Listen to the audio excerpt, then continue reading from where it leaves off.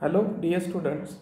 I am Mr. Chetan Pawar, working as an assistant professor and head, Department of Botany at Gokhale Education Societies, Arts, Commerce and Science College, Jawhar. Students, today's topic of our presentation is the anomalous secondary growth in roots. This topic has been included in the Mumbai University's TYBSc Botany paper 2nd, that is a plant diversity 4, in unit 3, that is anatomy. In our previous presentations, we have already discussed about the anomalous secondary growth in the stems and this is our the our last presentation from the anomalous secondary growth. In today's presentation, we will mainly study the anomalous secondary growth in the beetroot and the radish root. Before proceeding to our actual topic, I want to just overlook the structure of dicot roots. You have already studied the structure of dicot roots in your previous classes. The dicot root it mainly consists of the outermost protective layer of the epiblema. This epiblema it is also called as the rhizodermis. This epiblema is made up of the parenchyma cells which are very compactly arranged and they are without cuticle. The epiblema shows the presence of root hairs for the absorption of water and minerals from the soil. These root hairs they are unicellular and they are produced from the cells of epiblema called as the trichoblasts. Then inside the epiblema there is a large tissue of cortex is present. This cortex it is made up of parenchyma cells which are very large in size and they are having the intercellular spaces. That means they are loosely arranged. Then after that inside cortex there is the layer of single layer of endodermis is present. The cells of endodermis they are having the casparian strips and the some cells of endodermis they are without casparian strips and they act as a passage cells then inside the endodermis there is a layer of pericycle is present. And this pericycle to uh, inside this pericycle there is the stele is present and that stele mainly consists of the vascular bundles. Vascular bundles in dicot roots they are typically of radial type. Radial type means when the xylem and phloem elements they are alternating on the different radii means the xylem and phloem elements they alternate with each other. And the vascular bundles show the exarch type of the xylem. Exarch means the protoxylem is present towards the outer side while the metaxylem is present towards the inner side. In this diagram you can see these are the four elements of the xylem which are alternating with elements of phloem. The metaxylem is present towards the center while the protoxylem is present towards the periphery. That's why this type of vascular this type of vascular bundles they are called as the radial and exarch type. The cambium is absent in young root and as the cambium is absent we can say that the vascular bundles they are of closed type. The xylem and phloem elements they are equal in number as they are alternating with each other and mostly these xylem, xylem elements or the these vascular bundles they are of tetrarch type means consisting of four strands of xylem and phloem but in dicot roots there can be 2 to 6 elements of xylem and phloem can be present. During the secondary growth, the cells of pericycle which are present just outside the protoxylem and the parenchyma cells which are present just inside the phloem they become meristematic and they form irregular ring of cambium. In this diagram I will zoom it. In this diagram the new ring of cambium is formed in this region. It is formed from the cells of pericycle which are present opposite of the protoxylem means here and the cells of the parenchyma which are present in this region. They fuse to form a complete ring of cambium in a irregular form. But later on due to the unequal growth of secondary xylem and phloem it becomes circular the cambium produces secondary xylem intracambially and secondary phloem extracambially. And this type of origin as well as the activity of cambium can be considered as the normal. Then moving towards the, our actual topic that is anomalous secondary growth in the beetroot. Because there are many examples of the dicot roots which show the presence of storage region storage tissue. And this is due to the anomalous type of growth in these roots.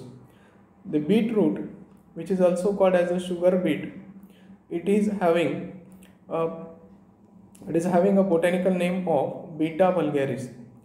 It belongs to the family chenopodiaceae the storage roots of the sugar beet they are of napiform in their shape and they are formed by the association of the hypocotyl with the base of taproot in initial stages. The young root of the beet it is having the diarch means the two elements of xylem and phloem and exarch condition which we have already discussed means protoxylem is present towards the outer side and metaxylem is present towards the inner side. During the secondary growth in beetroot, parenchymatous cells present between the xylem and phloem groups and the pericycle opposite the protoxylem form the primary cambium ring in a normal way. This first ring of the cambium it produces the closely arranged collateral vascular bundles which are separated by the narrow medullary rays of irregular oh sorry radial parenchyma.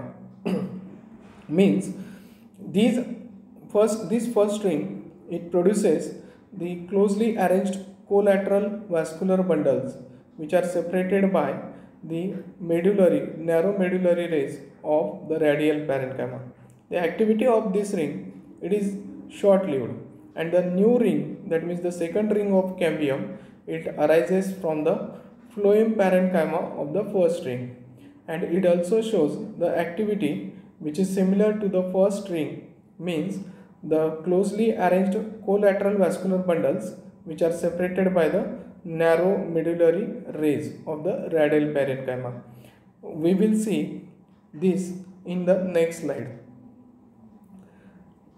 In this diagram, here you can see this is a cambium ring which is produced this cambium ring it shows the secondary it produces the secondary phloem towards the outer side and secondary xylem towards the out, inner side this is called as a collateral vascular bundle and these two successive collateral vascular bundles they are separated by this it is separated by this narrow medullary ray it consisting of the radial parenchyma.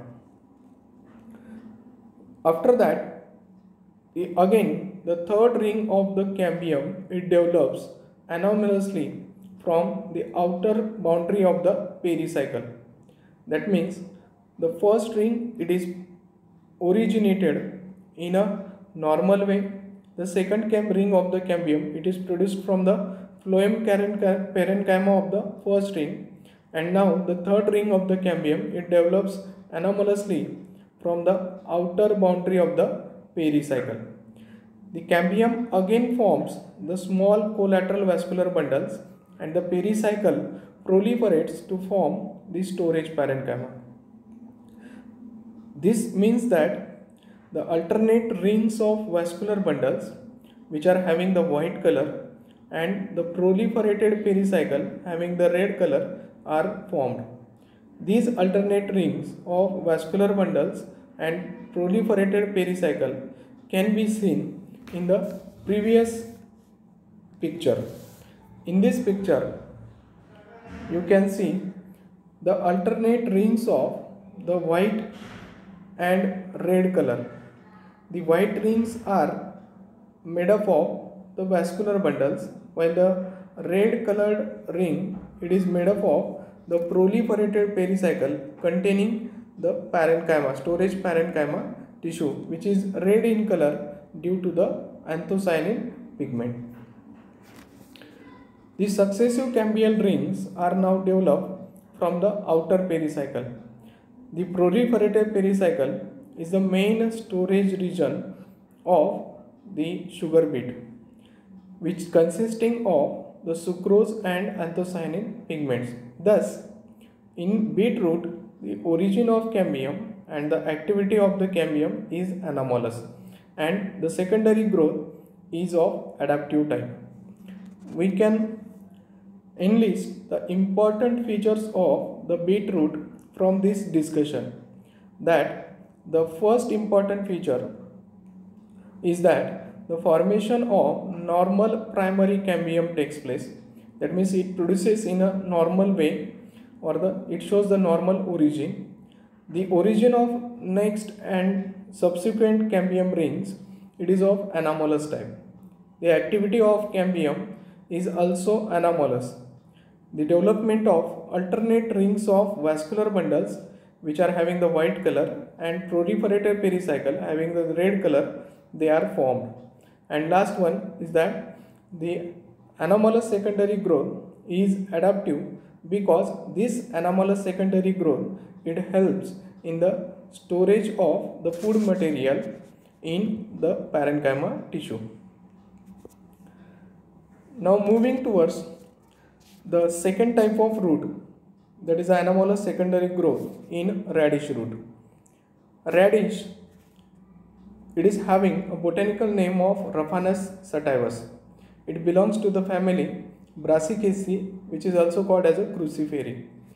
The young root of Raphanus it shows the diarch type of the xylem.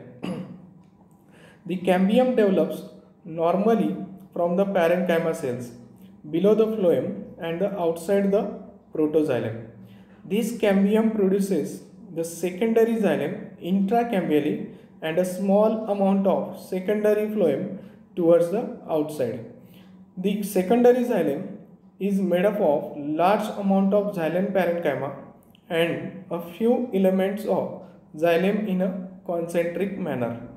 The cells of the pith also multiply forming the parenchyma cells which merge with the xylem parenchyma. Thus, in the radish, the origin of the cambium is a normal but the activity of the cambium is abnormal as a large amount of the storage parenchyma is formed in the radish root. The anomalous secondary activity in radish root it is of adaptive type.